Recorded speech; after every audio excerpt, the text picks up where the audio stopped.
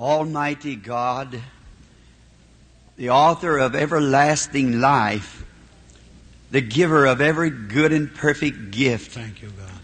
we are coming to Thee in the name of Thy beloved Son, the Lord Jesus. And we humbly thank Thee, Lord, for the blessings that Thou hast given us. And I pray that You will touch the sister who is now sick God. Somewhere in this audience. We, as the church of the living God, we now ask that the evil spirit that would do the harm to our sister Yes, will Lord. depart from her, that she might enjoy the services Yes, tonight Mm. in the presence of the Lamb of God. We ask you, Father, to bless Brother Joseph Boze as he leaves for Africa and to minister in the parts of the world. Let thy hand of Hallelujah, mercy guide him, Lord. Hallelujah. Give him safety, give him health and strength, and may he return to us again rejoicing, bringing precious sheaves. Hallelujah. Lord. Grant it. Forgive us of our sins Yes, as we forgive those who sin against us. Yes, Lord. And we pray now that the Holy Spirit will altogether take the meeting under His control Hallelujah, Lord. and get glory to God our Father. For we ask it in His name. Amen. Be seated.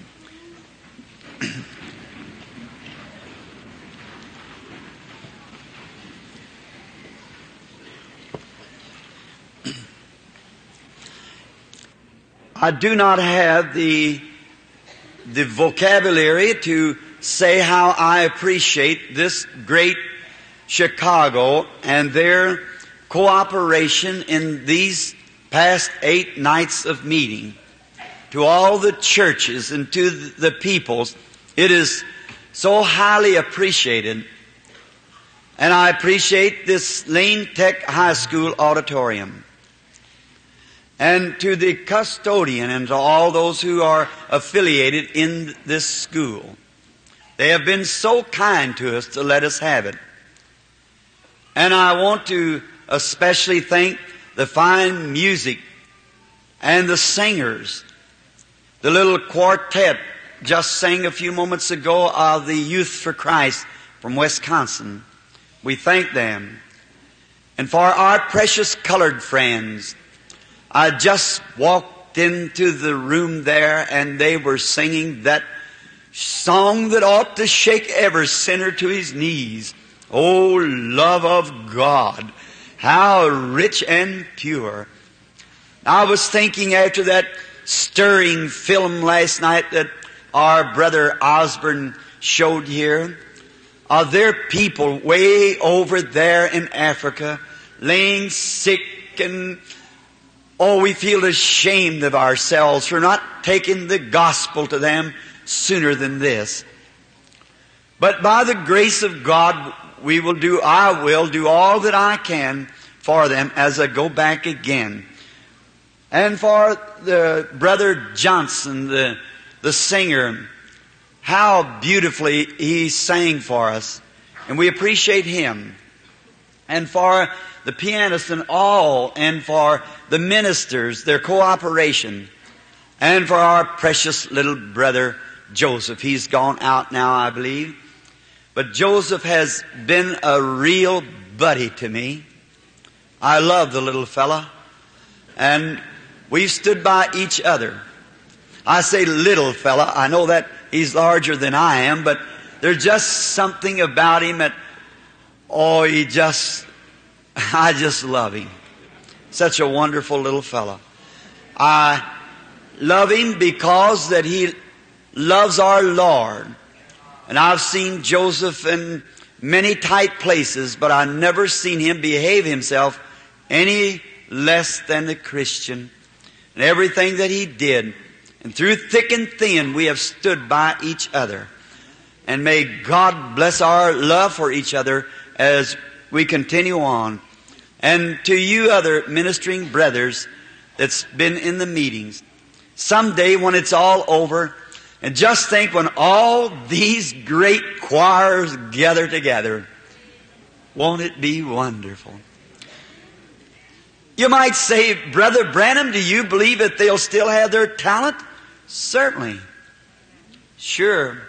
They were given that forever. If you notice when the witch of Endor called up the spirit of Samuel, he was still a prophet. So death only moves us from a different place of abiding. This is just for a little while and that one's eternal. So we're looking to that day. I heard Brother Joseph announce the meetings. We would be glad to have you. And that choirs and things, come on over to these meetings. I'd sure love that. And I'm sure the people would too. Nothing like good singing, is there? Oh, it's wonderful.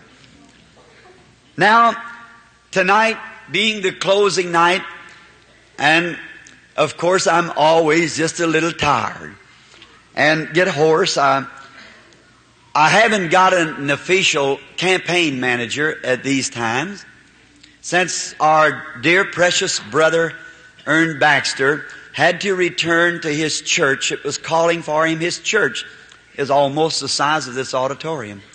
So to be getting around across the country with me, his church wouldn't stand for it any longer. He had to return back to them or they'd probably lose his church. A wonderful soul, a wonderful man of God. And I love him. But he had to go back and since then, Uh, I haven't had a campaign manager, so I have to try to speak myself. So I'm insufficient for that because I'm not an educated person and I can't preach. We know that, as Brother Osborn said on the platform last night about, he said, no one knows it any better than he did about his will of being here. So, but you suffer with us a little while, but I love to tell what I know about him, for I love him. I wish to read tonight a portion of the scripture, and we will not keep you too long. Then we're going to pray for the sick. And oh, how my heart burned last night when I seen that great, massive group of people come into the aisles to accept their healing on the basis of God's eternal Word. That thrilled my heart. It brought my faith up in you to see that you would believe right on the Word. Brother Osborn has a great ministry of preaching the Word, and the Word will defeat the devil anywhere, anytime, under any conditions. Jesus proved it when he defeated Satan, not using his power, but just on the Word of the Father. It is written. It is written, and he defeated him. In the book of the Revelations of Jesus Christ, and uh, the third chapter and the twentieth verse, I wish to read this portion. Behold, I stand at the door and knock. If any man hear my voice and open the door, I will come in to him and will sup with him and he with me. This is a most striking text of scripture. There's something about it that each time when I read it, it just thrills my heart. It's a picture of the Lord knocking at the door. I cannot call in my memory at this time the picture or the artist that the picture was painted by him of this event. But all famous pictures, before they can ever be put into the Hall of Fame, they first have to go through the critics. And then when they have passed through the critics, then they can go into the Hall of Fame. That's the way it is with the church. God is painting a picture of a beautiful holy church.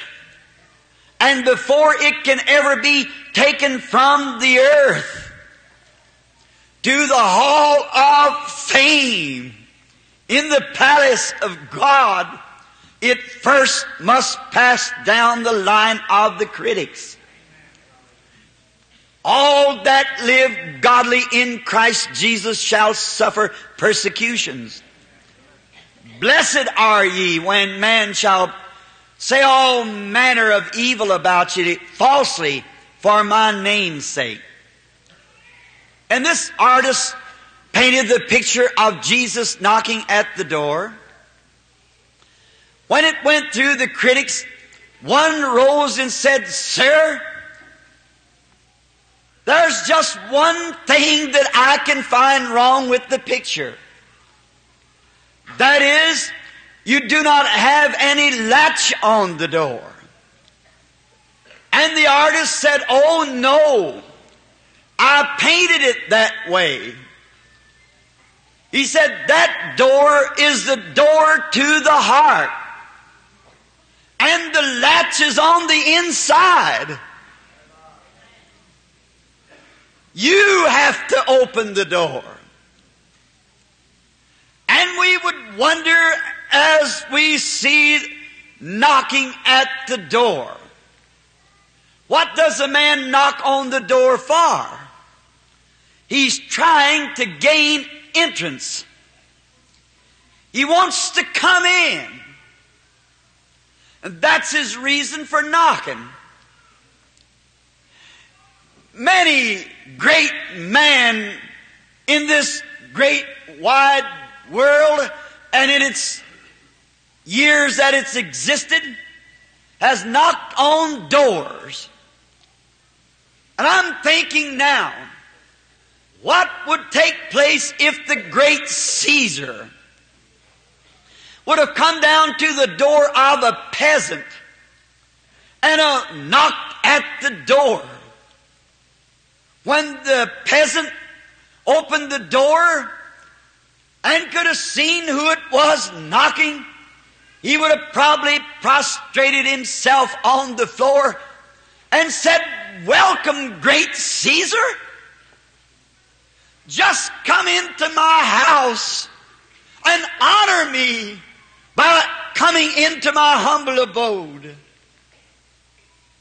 And whatever you find in here that your heart desires, take it, for it's yours.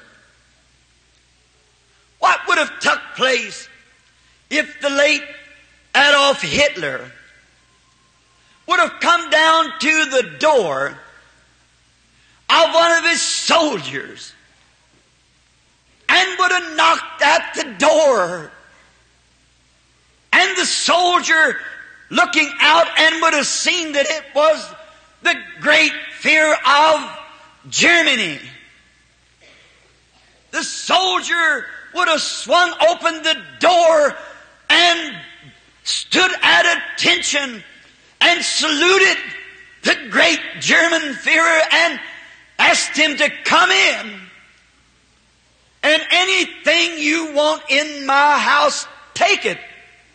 It's yours.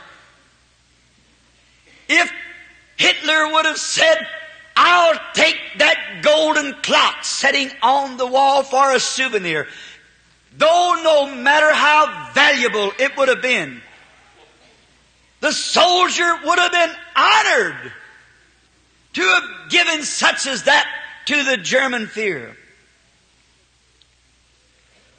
You know, the reason it's the importance of the person at your door. When an important person comes to visit you, there's not a good Democrat in all of Chicago tonight.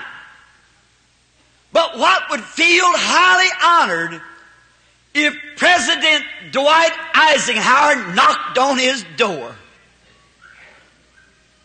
Though he differed with him in politics, yet he is the President of the United States of America. He's an important man. And just any good Democrat would appreciate that.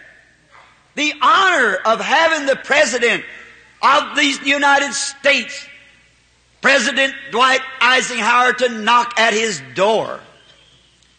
He would say, Come in, sir. And anything that I can do to make you comfortable while you're here, enter in. His heart would have been thrilled to know that the President of the United States was knocking at his door.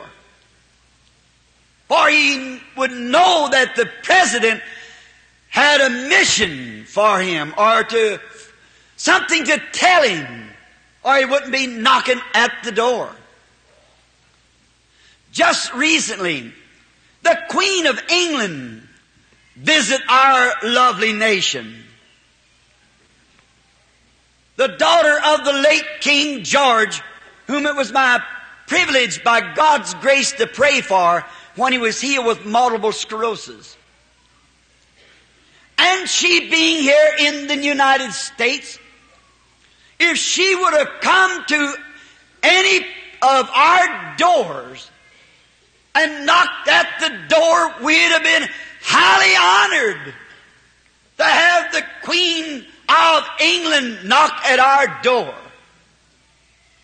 Though we are not her subjects, but she's so important.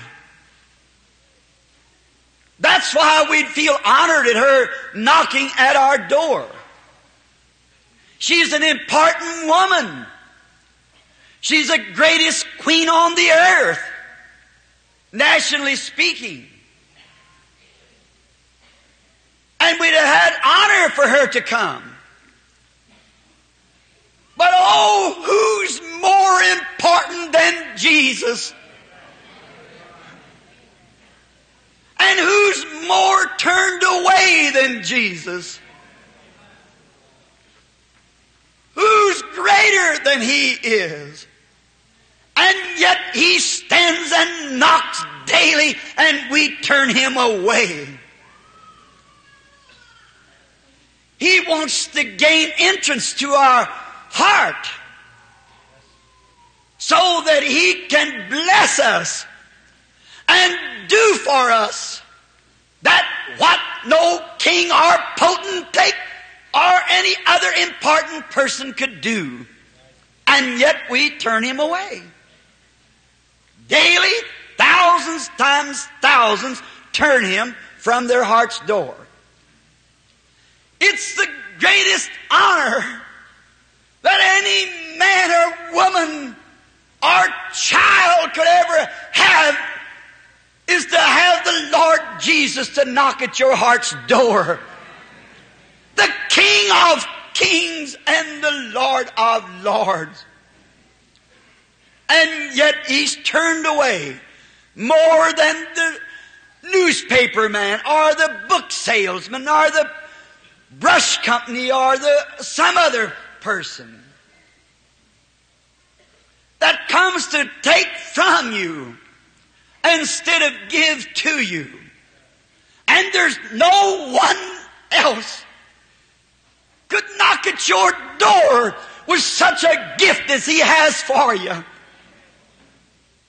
For he has for you eternal life. He has for you healing for your body.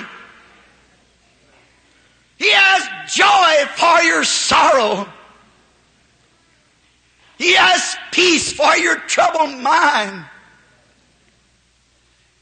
He has hope for your doubts, faith for your fears,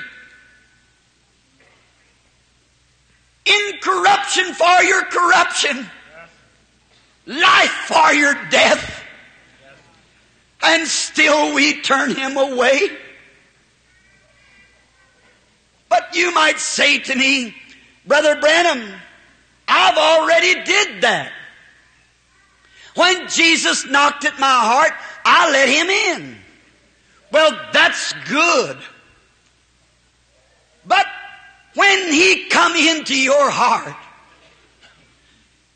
Did you welcome Him to your entire being? There's many people that will welcome Jesus in as Savior. But can He be your Lord? Lord is ownership. The Lord has complete control. You would plentifully welcome Him to keep you out of hell and torment. You would welcome Him as your Savior. But are you willing to welcome Him as your Lord to take over full control?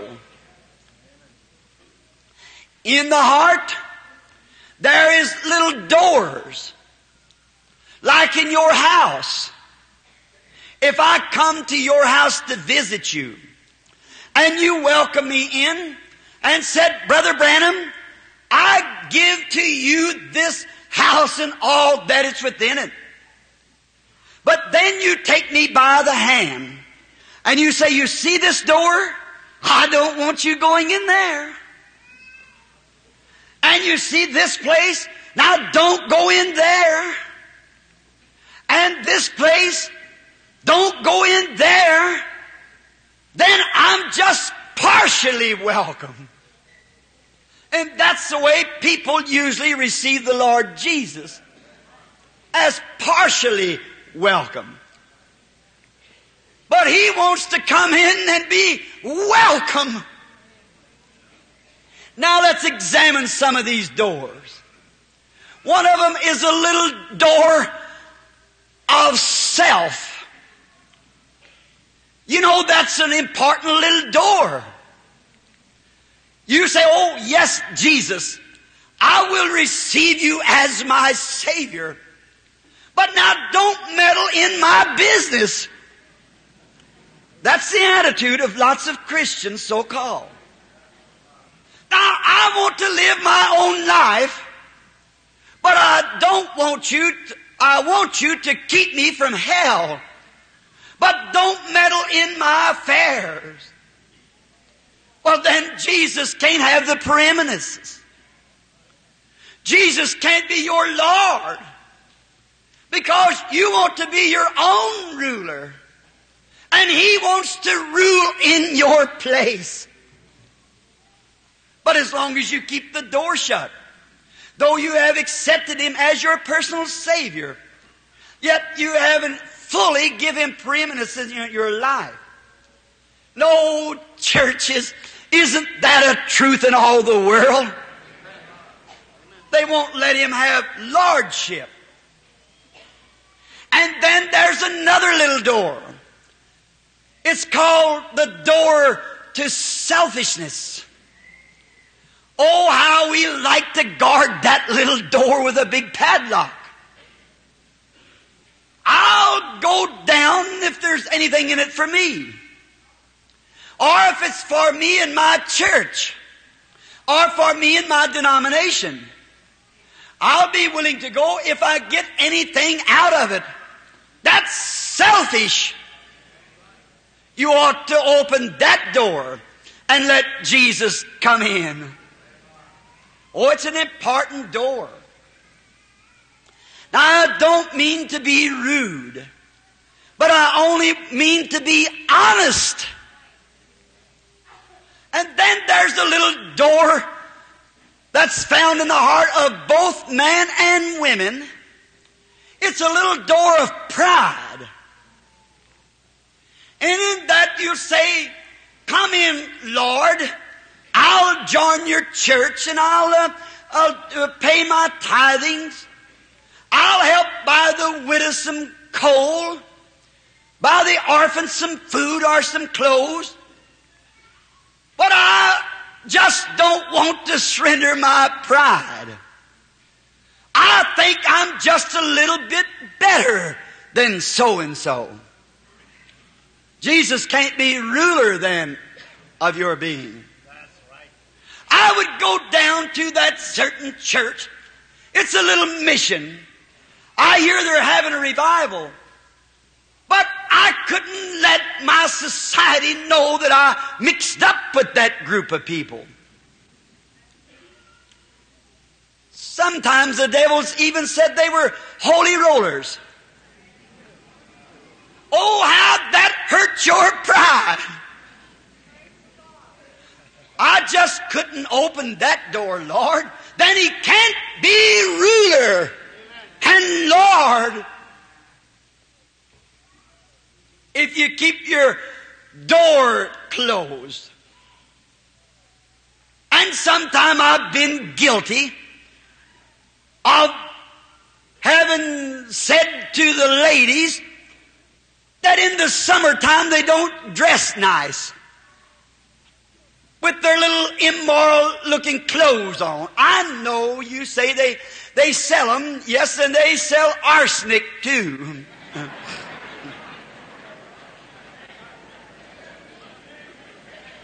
oh, you want to look like the Joneses. You want to act like your neighbor. But God wants you to act like His child and get away from that pride. The pride door. What a horrible thing it is to know that you profess to be a Christian and then keeping the door closed on him. A little story I perhaps have told you. But in the early days of the slaves, in the South, there was, they go by and buy those people and uh, make slaves out of them. And they were sad because they're away from their home and they just simply couldn't feel good no more. They'd never go back home and they were whipped around and beat around till the people were all down in spirit. And one day a slave buyer came by and he was buying some slaves at a plantation. Oh, he noticed one of those men, a young fella, standing straight, his chin up, and they never had to whip him. He was right on the job. So the slave buyer said, let me have the, that slave. I'll give you your price for him. And the owner said, but he's not for sale. He said, What makes him so much different from the other slaves? Is he a boss? Said, No, he's just a slave. Said, Do you feed him different from the other slaves? Said, No, he eats in the galley with the rest of the slaves. Said, Then maybe perhaps that he's treated a little better. No, he's just treated like the rest of the slaves. Said, what makes him so much different than, than the other slaves? He said, I wondered for a long time myself. But I found out one day that over in the homelands, his father is a king of the tribe. And yet, him being an alien away from home, he still knows that he's a king's son and he conducts himself like one. Oh, we Christians, though alienated from the world, and we are heaven bound subjects of the Lord Jesus, we should conduct ourselves as sons and daughters of God. Pride keeps us from doing it. We're afraid somebody will say something against us. When the Spirit blesses, many are ashamed to say Amen. There is many who in their office work, the Lord Jesus could have healed them of diseases and they're afraid to testify to the glory of God because of pride. Many are afraid to stand and say, I have received Christ as my personal Savior and been filled with the Holy Spirit. Ashamed. Oh, I love that little old song we used to sing years ago down in the ridge country, I'll take the way with the Lord's despised few. I've started in with Jesus and I'm going through. Not ashamed of the gospel. Paul said it's the power of God. Pride. Oh, what a great thing that is. Then there's another little door in your heart. Oh, there's many of them, but I just want to hit some of the main ones. Another little door in the heart when Jesus comes in is the door of faith. Oh, many will say, I'll accept Him as my personal Savior, but I don't believe all the words inspired. Then you're keeping your door closed. He can't bless you at all. And you say, Oh, I believe that He saves me from sin, but I just can't believe that the days of miracles are the same today as they were then. Then you're keeping your door closed. He can't do a thing for you. Oh, tonight, in this healing service, if we could only open that door and say, Lord God Jehovah, I believe every word that you said is the truth. And it is a written, sealed by the blood of the Lord Jesus, a declaration and a promise to me. And it's my property. And I possess it. Oh, what a meeting there would be here tonight. It is mine. Jesus died that I might have this faith. He that cometh unto God must believe that He is, and a rewarder of those who diligently seek Him. Oh, to open that door of faith and let the King of glory come into it. Then you will be able to see the great things and believe with all your heart that Jesus Christ is the same yesterday, today, and forever. His manifestation of His love and Spirit will be poured out upon you. I wish to hit another door just for a moment. And that is the door of your eyes.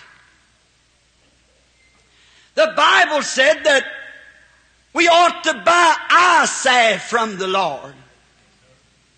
You know, I'm a southerner. And uh, down in the country where we live, way back in the mountain country of Kentucky, the children used to get sore eyes.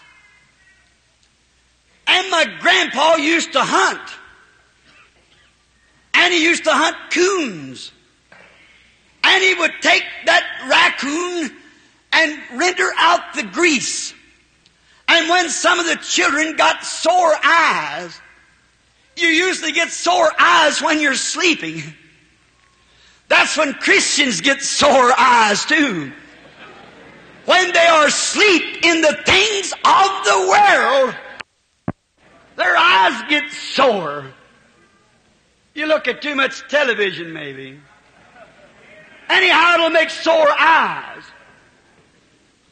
And we used to take this coon grease and rub it, massage it into their eyes until their eyes come open.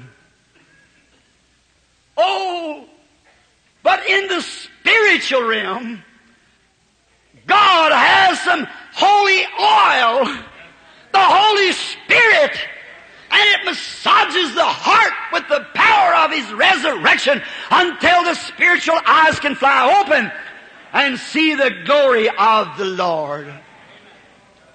Oh, how we need a eye. That our eyes of our understanding might be open. Then another thing. When your eyes come open, you can see. You might hear, but your eyes come open, you can see. And then when our eyes is opened up, we can see the goodness of the Lord. There's many times that God has walked with you. He kept you from the wreck. He brought you from the hospital. And you go on as if you's like a hog under an apple tree. That's the southern expression. You know, an old hog can get under the apple tree and the apples will beat him on the head all day long. And he'll just grab them and eat and never look up to where they're coming from. That's the way many Christians do. The blessings of the Lord falling all around them and they never get on their knees to recognize that it comes from God. What a pity it is. Our eyes need to be open.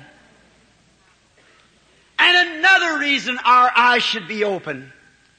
That is when we come into the house of the Lord and we see His Spirit beginning to move and to perform things just the way He said it would be done. And we sit with our eyes closed. Now, I know that is true. They sit with their eyes closed and say, well, I don't know. It could be mental telepathy. And it could be a fortune teller. But if your eyes were open, Jesus would come in and say, it's me and my word. But you must have your eyes open. And then you would see His goodness and could appreciate all that He does for you.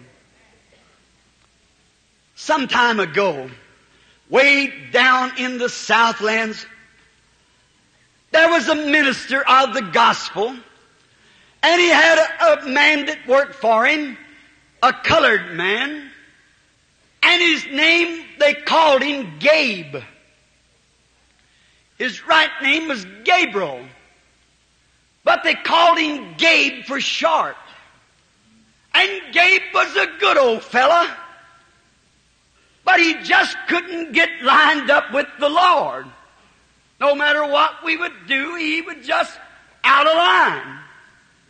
He liked to play dice and cards and drink a little whiskey and he just couldn't stay lined up. And Gabe liked to hunt real well, but he couldn't hit nothing.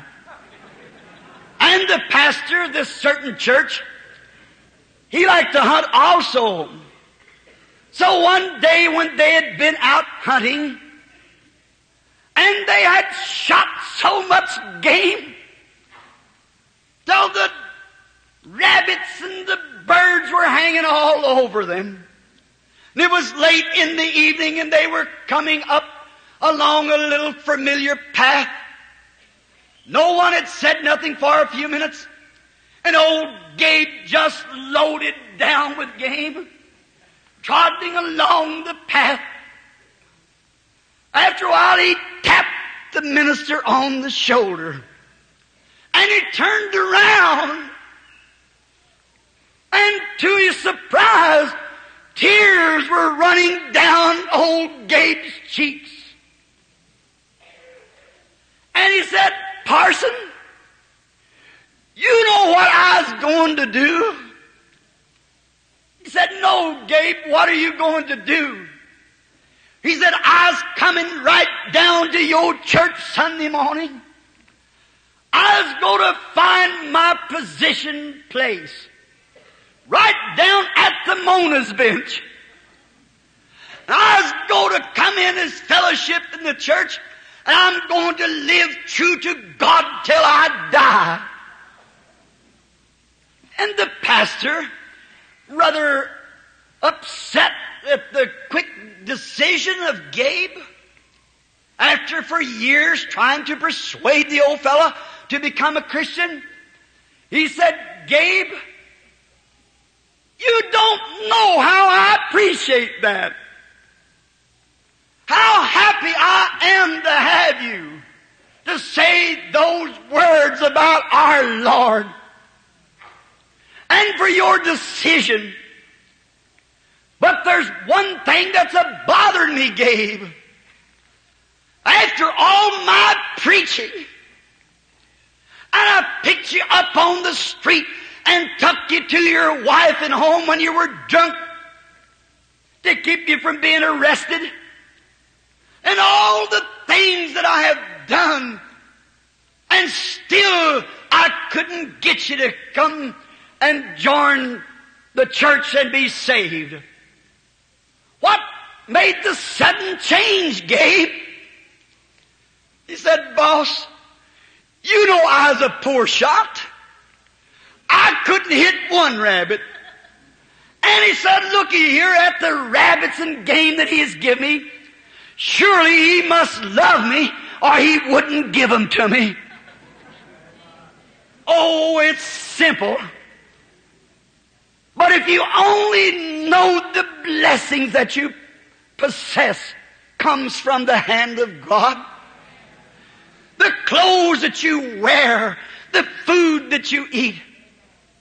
If you'd once mission those fields and see those little babies with their little bellies all swelled up laying on the street dying with hunger, and you rake off enough in the garbage can to feed them, you'd get on your knees and say, Oh God, I've been so cruel.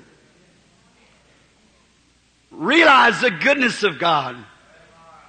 How many people that would be in hell tonight that sat in these seats where you're sitting that would give anything if they could take their seat back again tonight and have the opportunity to come. The goodness of God. We just take it for granted. He's so good to come to us in this last days when denominations and great moves against God and all kinds of mechanical devices and everything of entertainment to take the place of the church. All kinds of entertainment. And yet they turn their back on Christ. And yet He comes to us in His goodness to reveal Himself to us as the same yesterday, today, and forever. It's beyond anything as those dear people sung a while ago. It goes beyond the highest star and reaches to the lowest hell. To know His goodness, standing, knocking, trying to get in. Think of it just a moment as we bow our heads for a prayer. Are you guilty of eating good food, enjoying good sight, wearing good clothes, driving a good car, living in a great nation, going to a, a good school, and all the blessings that we are enjoying? And yet you've never looked up to see where they come from. Are you guilty? Won't you tonight, while He's knocking at your door, do just enough to reach up with your right hand and say, Lord, I now unopen the door. Come in, old King of glory, and save me, and open up the doors of my heart. I do my door of faith my door of pride, my door of indifference, my door of selfishness, all the doors of my heart I swing open to you, O Lord Jesus, who is standing present now. Will you do it by just raising up your hand while everybody's praying? God bless you all over the church. There's many hands, I can't count them all. But God sees everyone. What about the balcony up there? You know what?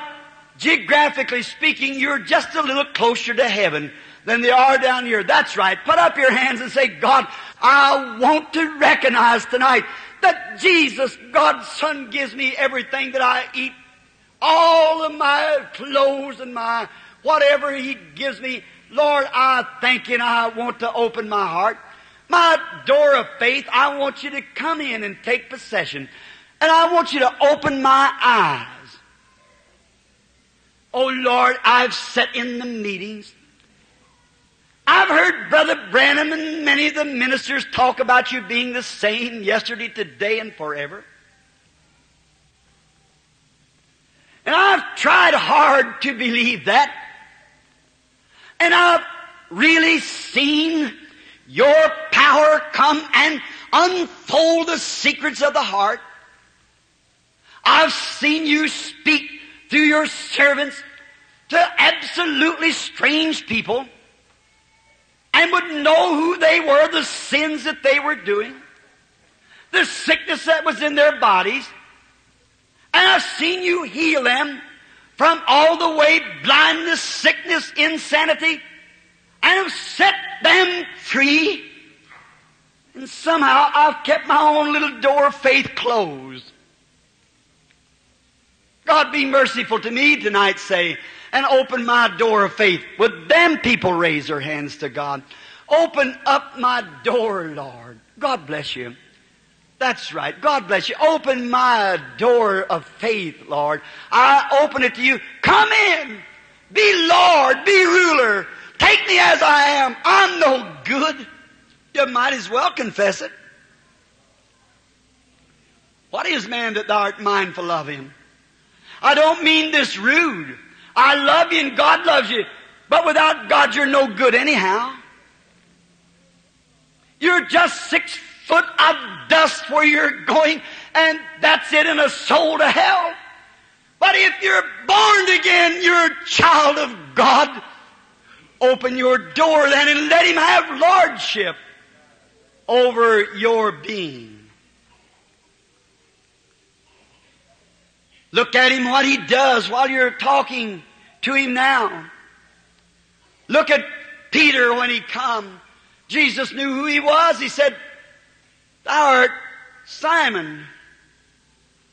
And after this you're going to be called Peter. And your father's name is Jonas. He told Philip where Nathaniel found him, or Nathaniel where Philip found him. And he also knowed the secret of the Samaritan woman's heart. That one who touched his garment, he turned and looked. He perceived the thoughts of the people that said he was Beelzebub. He's still the same tonight. He said, these things that I do shall you also. And that you will come into their heart as Lord and Savior. Bless those who raise their hands, who has already accepted you, but have not fully opened every door in their heart. Grant, Lord, that every door may be open now, that the Son of glory will come in, and anoint their eyes that they might see His glory and His presence. Get glory to thyself, Lord, for I, as your servant, present them to you as the trophies of the message. In the name of the Lord Jesus, amen. As many as believe was added to the church. They believed and accepted Christ. But I do love to see the altar and people at it repenting. No matter how much you cried, how much you begged, until your faith looked there and accepted Him as your personal Savior, it would do you no good to pray or cry. Peter said, repent every one of you and be baptized in the name of Jesus Christ for the remission of your sins and you shall receive the gift of the Holy Ghost. For the promises unto you and to your children and them that's at Chicago and as many as far off, just as many as the Lord our God shall call. And if you raise your hand, He's still calling. Believe Him now. I wonder before we start the meeting, and I could say this, go to some good church now and be baptized and Call on the name of the Lord and He'll give you the baptism of the Holy Spirit. Now do that for me, won't you? No matter what church you affiliate with, as long as you receive the Holy Spirit, that settles it. You're son and daughter of God. And I forgot something that the Lord reminded me of. They told me that they'd taken a love offering for me a while ago. Wasn't necessary. I've never took an offering in my life. The brothers usually come around and give me something to live on. Thank you for it. I don't mean to be rude. I'm sorry. You forgive me for forgetting to say that vital thing that you did. I appreciate it. The Lord bless you. It'll go to the best of my knowledge to the kingdom of the Lord. It's the only way I have of living and feeding my family is by what you give to me for that purpose. Anything over that goes straight into the missions. So when I answer it that day, I want him to say, it was well done, my good and faithful servant. That's the words I'm longing to hear. Well done. Now, is there any people here that has never been in one of our meetings before? Would you just raise your hands? This is your first time. Oh, that's very fine. The Lord bless you richly. About 200 or 300 people, I guess, that's never been in the meetings. Now I want to take just this moment of time, which is early yet, to explain to you what I think about divine healing. Now, you know, on these kind of a ministry, you have all kinds of names. And some of them are not very pleasant. But however, it doesn't change the bit with God. He was Beelzebub to the people of that day that didn't believe him. And if they call the master of the house Beelzebub, how much more will they call them of the household? But just the same, the gospel moves right on. And there's no way of stopping it. It's just like a house on fire in a high wind. It's going to move on. No one's going to stop the gospel. It'll take its roots in our hearts no matter how bad they persecute. Someone, God is able of these stones to rise children to Abraham. And now in this day, I know that it's a, a very fine thing that you would be careful what you hear. Because to me, I believe that God can do many things that He hasn't written in His Word. I know that He's God. He does anything He wishes to. But to me, I like for it to come out of the Word, then I'm sure. In the Old Testament, they had a way of testing whether a prophet was true or not. It was on the Urim Thummim. And you Bible readers know what that was. It was the supernatural light that went over the breastplate of Aaron that reflected different colors. And if the dreamer or the prophet spoke, and no matter how real it sound, if the Urim and the Thummim did not reflect that supernatural, it wasn't so. And in that priesthood, the Urim Thummim was taken away. But in this priesthood of the Lord, we got another Urim Thummim. That's His Word. If it doesn't reflect on the Word, I'm just a little bit skeptic of it. For whosoever shall take away or add to anything that's written in this book, you know the threat of the angel in Revelations. I don't want any more than what's in it, and I don't want anything less than what's in it. I want just what He promised. And I would not come to you to deceive you. I would come as your brother. And surely all these years that I've been here, God has let you see some way that I, I love you and I'm your brother. And as myself, I believe tonight if the rapture would come and they went according to your worthiness, I would perhaps be the last one to go. I don't say that to be humble. I say that because I was born out of season to you people of this great message. There's men and women sitting here who are gray-headed that was preaching the gospel before I was born. Certainly they're worthy. They was back there. You only paved the way for this. And you've looked forward to it. And it's here. So let's believe it. Now when the Lord Jesus was here, I'm going to take my campaign theme for the newcomers. And if you all that's been in a meeting before, just bear with me a minute. Divine healing is nothing that any man can do for you. It's something that someone has already done for you. Jesus Christ died for you at Calvary and He was wounded for your transgressions and with His stripes you were healed. That's the Word. Then the only thing He could do would be manifest Himself in some way by preaching the Word. Now did you notice Brother Osborn is a preacher? He could place the word out there in such a way till the people accepted it. I'm not able to do that. But the Lord has given me another way to bring it. Just like the eye or the mouth. You wouldn't have much use for your eye if you didn't have any mouth. Whether you preach or whether you see.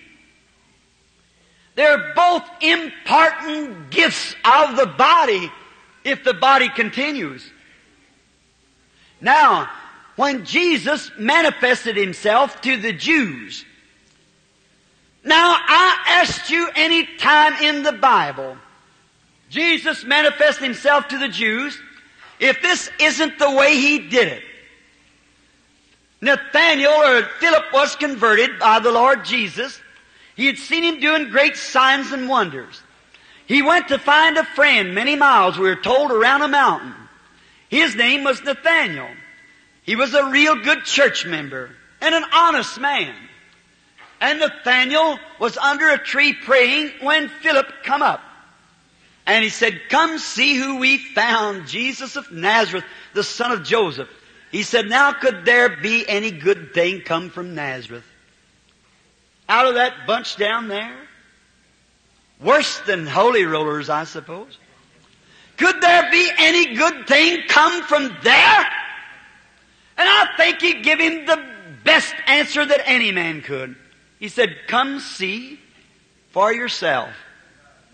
And along the road, he began to tell him the works that Jesus did, like I'm telling you now. He prepared him for what could happen. Well, I can hear Philip saying, Nathaniel, you know what?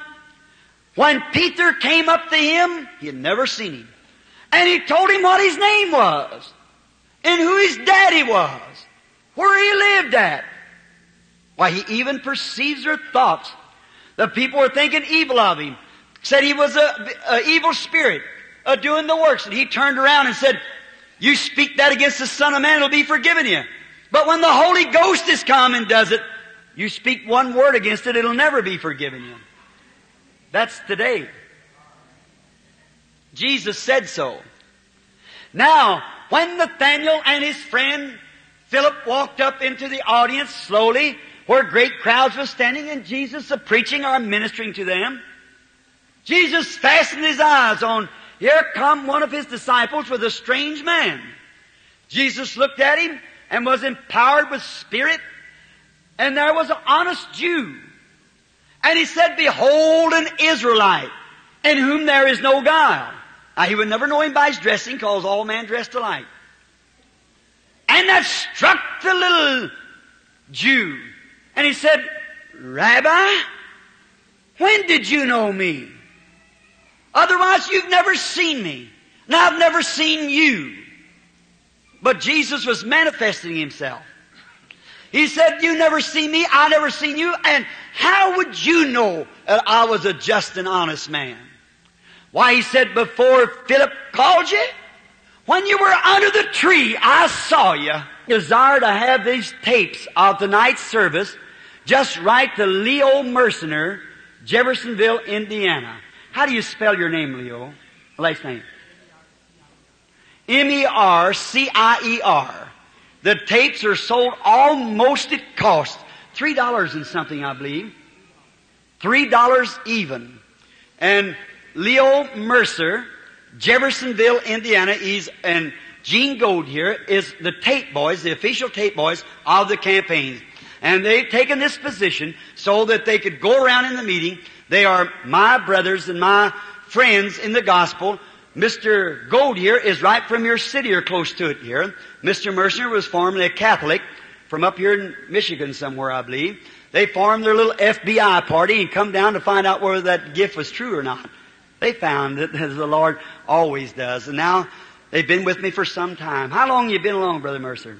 Four years. Found them to be real honest boys, right on the mark.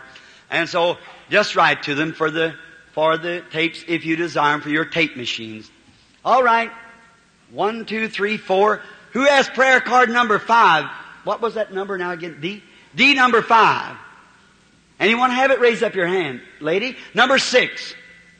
Who has D number six? The gentleman. Number seven.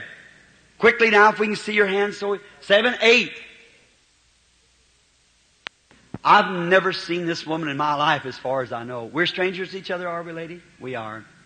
Just so the audience out there would know, as we stand here, just raise your hand so they might not see your head nodding. We, we've never seen each other before. And here we stand, man and woman. Thank you, lady. Now, I'll talk to her just a moment, like our blessed Lord did to the woman at, at the well at Samaria. And now, if the Lord Jesus wants to manifest Himself to the Gentile, then He'll do the same act that He did then. Is that right? If He's the same, He's got to be the same in principle, the same in word, the same in action. The only thing that He isn't the same in, that is His corporal body, because He's in your body. I am the vine, He said, ye are the branches. He turned back to light where He come from. The pillar of fire that led the children of Israel. He turned back to that. How many believes that? Well, he said so. Did he prove it? When Paul met him on the road down there, he was a light. And when Peter was in prison, he was a light. He's the eternal light. Now, if this, our sister standing here, I have no idea what you're here for. I've never seen you. I, I don't know one thing about you. But now it'll be according to her approach. How many of you in the prayer line and you out there know that it's your re- approach to a gift? How many knows that? If you approach it reverently, you get what you asked. If you don't, you do not. We'll appreciate if you don't take any pictures while Reverend Branham prays for the sick. Yes. Please. Uh, thank you. The angel of the Lord is a light. How many seen the picture of it? Let's see your hands. Sure, it's here. See, they got it back there. It's in Washington D.C. The only supernatural being was ever proved by that it. And see, and then when the light of the angel comes down, it's just a great light, kind of a yellowish green looking light. And I'm watching that light, and it'll move and go to the audience. I have to watch it because the vision is with the light. And then when you take a camera picture, it sometimes it upsets me. And so I appreciate it. If you won't take a picture right now, the brother was taking them or whoever it is, you're welcome right now. But just when it's, um, when we start into the discernment, you see, to see if the Lord will do it. Now, if the Lord will do the same act here that He did to the woman at the well, how many say, I solemnly will believe Him with all my heart? My Father, Thou seest this. Now, let Thy Spirit come now and manifest the message and declare it to be the truth. Grant it, Father, for we ask it in Jesus' name. Amen.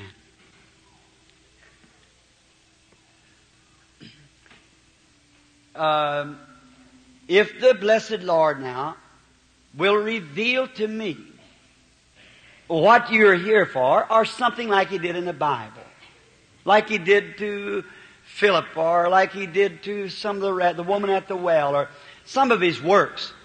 Now you know then, if we don't know each other, it'll have to be a supernatural power to do it. But then it'll be according to what you think it is. If you say it's an evil spirit, then you'll get an evil spirit's reward. If you think it's a spirit of God, then you'll get God's reward. That is right. Now, may He grant it is my sincere prayer. Now I was talking about approaching a gift. that little woman had touched his garment she believed he was the Son of God. She got just what she asked for. But the Roman soldier who put a, a rag over his eyes and hit him on the head and said, Now, if you're a prophet, tell us who hit you. He never got nothing. But a trip to the regions of the lost to never return again. It's approach. Now, if the Lord Jesus will, if I said, woman, you're sick, and uh, God will heal you, well, you, you could doubt that. You'd have to take my word for that. But if the angel of the Lord will go back into your life and, and reveal something that's you've been in your life, like he did the woman at the well or something like that, then you'll know where that's the truth or not. You'll know that. Then you'd, if he's right there, he's right everywhere. Then you'd believe if he knows what was, he certainly will know what will be. Now, I don't know just whether the audience can hear my voice now or not. But between me and the woman stands the eternal light of God.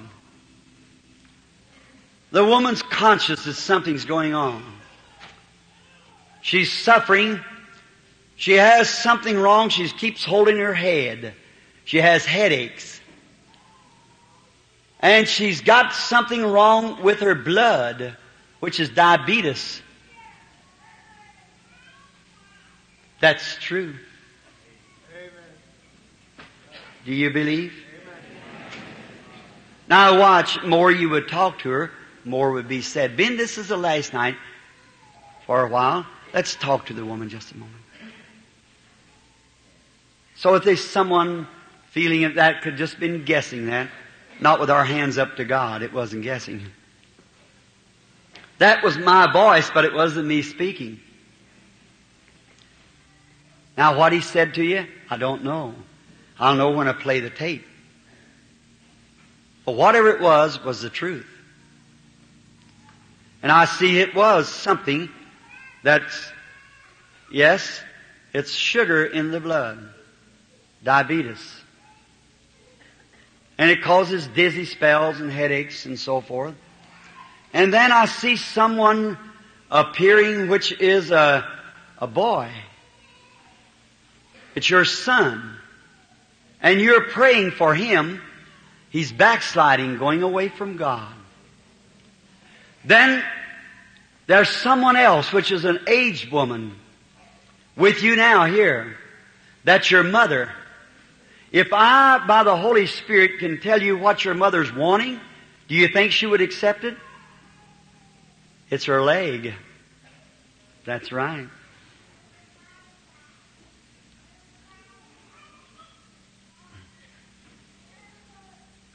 That's truth. You're not from this city. You're from a place like Roselle, Illinois. Mrs. Fred Grenier, that's your name. Go home. You receive what you've asked for. Your faith has did it. God bless you. If thou canst believe, all things are possible. I don't move. See, each of you is a spirit. And when you move, your spirit is subject to the Holy Spirit now. And when you move, it does something. You remember Jesus put everyone out of the house while he raised the little girl to life? You know an enemy would make you be scared and running and everything, but that's sweet. You just want to worship it like. Between you and I is that light. That lights man, it comes into the world. And if the Lord Jesus in His blessed will will permit me to know what you're here for, would you believe with all your heart? You have something wrong in your throat trouble. And you have something wrong in your chest. That's right. Do you believe the same God that talked to the disciples and know that still lives today? You live on a street called Adams Street. Your number is 3239 West Adams Street. Your name is Myrtle Bradford, go home. Jesus has made you there in the audience with your hand on your little boy. Yes, you. Yes, sir. You was in prayer at that time, and something is moving on you. You're aware of that. For you've touched something. You never touched me. You touched Him. And you're praying with your hand on your little one because the little boy is suffering with a nervous condition that upsets him so much in school. That's thus saith the Lord. Now while the Spirit's on you, lay your hand on him. Oh Lord God, I rebuke the devil that's bothering this child. May it leave him in Jesus' name. Amen. You shall have what you ask for. Don't weary. The man is 30 yards from me. What did he touch? God said in His Word that He's a high priest that can be touched by the feeling of our infirmities. You believe Him. You believe, lady? Thank you. If the Holy Spirit will let me know what you're wanting, just as He did that man out there, you have a prayer card. You're here on the platform. That man's just sitting in the audience. Will you believe? You're not here for yourself. You have a lady's trouble, but not to bother you much, but you, you're here for your husband. And he isn't here. Neither is he in this city, nor in this state. He's in a state where there's a lot of lakes. Wisconsin. He suffers with multiple sclerosis. And he's unsaved. And you're more concerned about his soul than you are his healing. That's thus saith the Lord. Now the handkerchief that you're going to wipe those tears with, lay it on him and don't doubt you can have what you ask for. Amen. The Lord bless you, lady. How do you do? I suppose that we meeting our first time. That is right.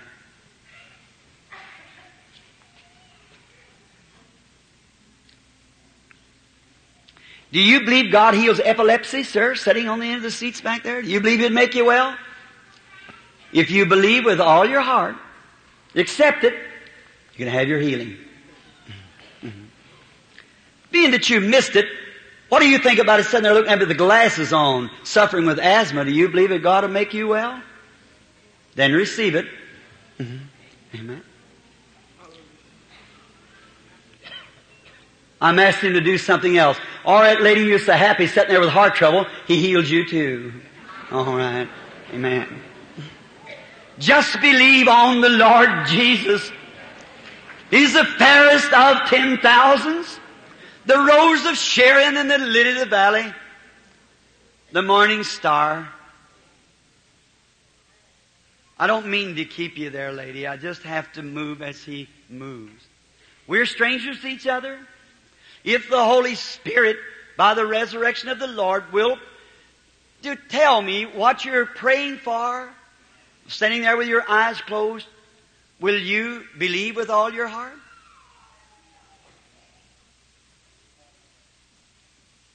It doesn't show, but you have an inward goiter. And you have an extreme nervous condition you're praying for.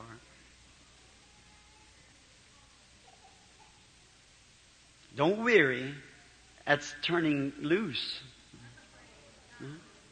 You're not from this city, nor from this state, or from this nation. You're a Canadian. You're from Ontario, a great country of cedar. Don't even belong in here in Evergreen.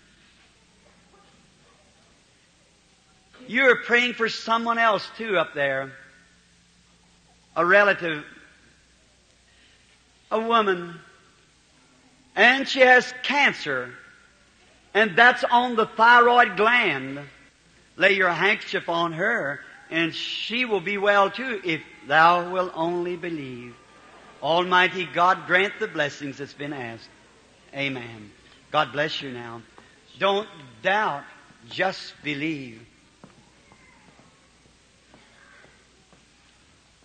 Don't move, please. If you'll just wait a few more minutes, we'll, we'll just stay. Oh, may the good Lord of heaven grant it. It was somewhere.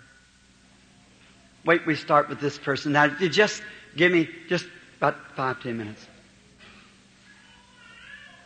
I guess I'm a stranger to this lady. Is that right, lady? We are strangers to each other. But the Lord Jesus knows you.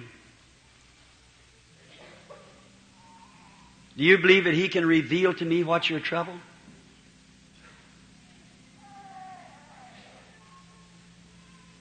You're here for your back. You got a back condition that was caused from an experience in a hospital from an operation. That's right.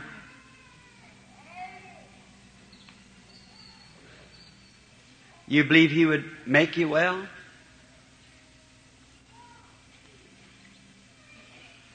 They call you Anne Robley. You're from a suburb of this city.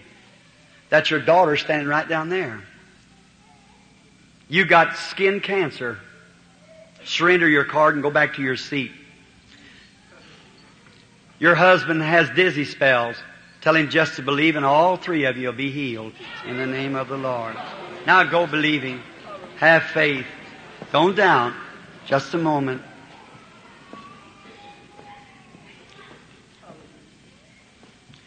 The little lady sitting here with her head bowed just behind this gentleman with a tumor.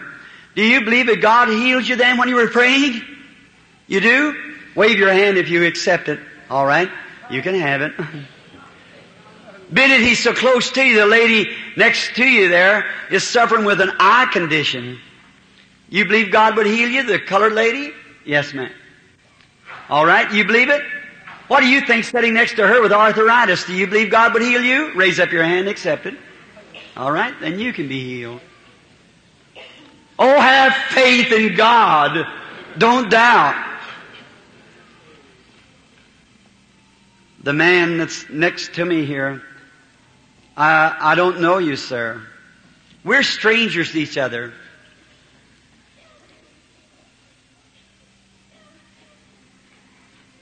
Now, if you can believe, all things are possible to them that believe. Something happened. It was a man. The gentleman sitting looking this way, right back there, something white checkered looking shirt on with, well, he's got heart trouble. If he will believe with all of his heart, the Lord Jesus will make you well. You believe it. Next, there is a rupture. Do you believe that God would heal you and make you well? You believe it? Then you can have it. All right? Have faith. Don't doubt.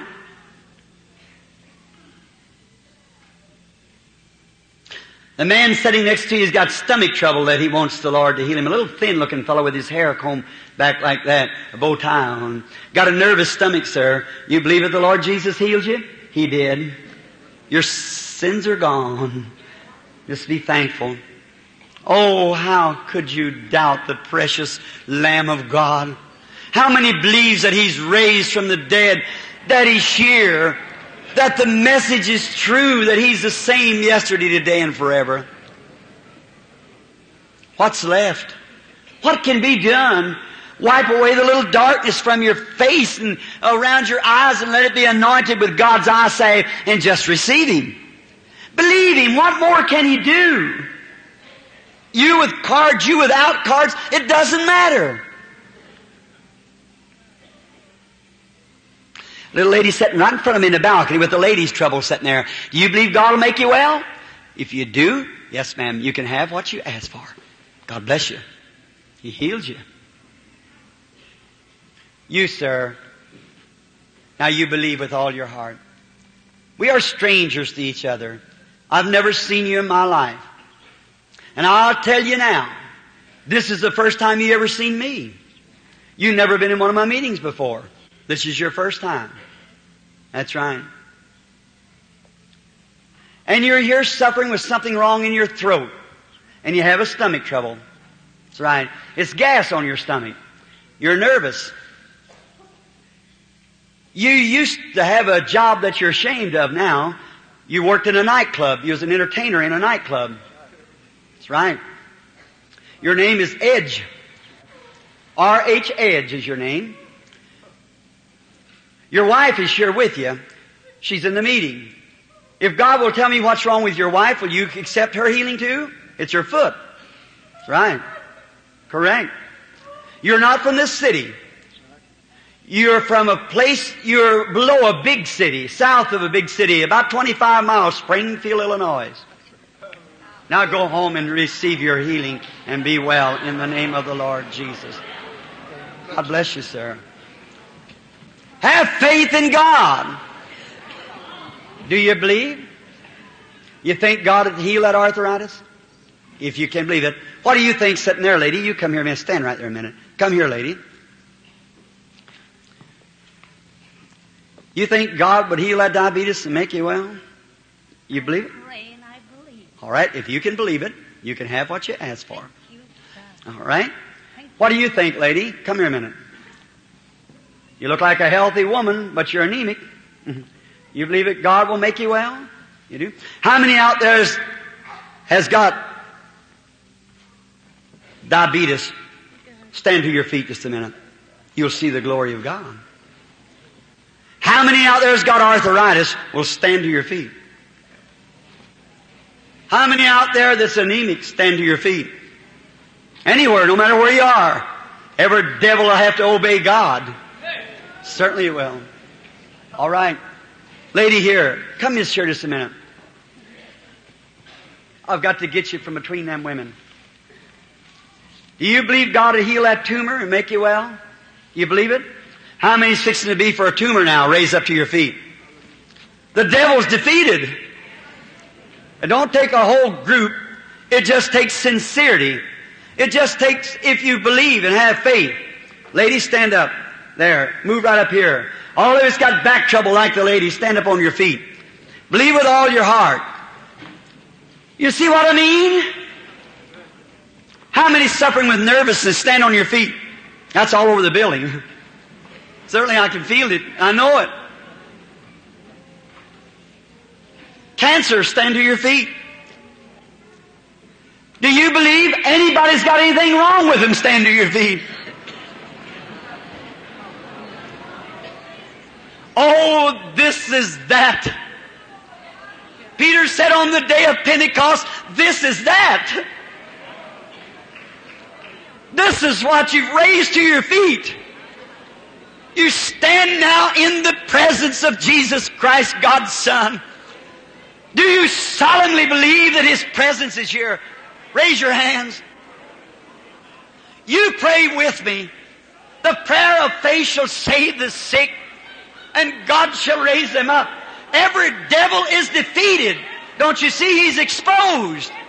He's got to leave you. He'll leave if you'll let him leave right now. Christ is driving him from you.